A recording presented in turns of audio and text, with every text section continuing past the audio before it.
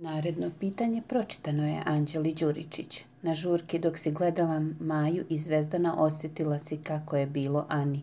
Kada si se smejala dok je ona plakala, a tvoje emocije ne može da se poredi s njenom. Njena je životna, glasilo je pitanje. Da, naučila sam da se ne gradi sreća na tuđim nesrećama. Rasplakala sam se na neku pesmu, ne znam koja je. Trudila sam se da ne gledam. Nastojala sam da ne gledam u tom smjeru i mogu da potvrdim da nisam gledala. Očigledno da znam kako je je bilo, rekla je Anđela. Sljedeće pitanje bilo je za Anđelu. Pitanje za Helgu. Ne obaziri se se na savjetodavce, kidaj i gazi. Tako smo te voleli prošle sezone. Glasilo je pitanje.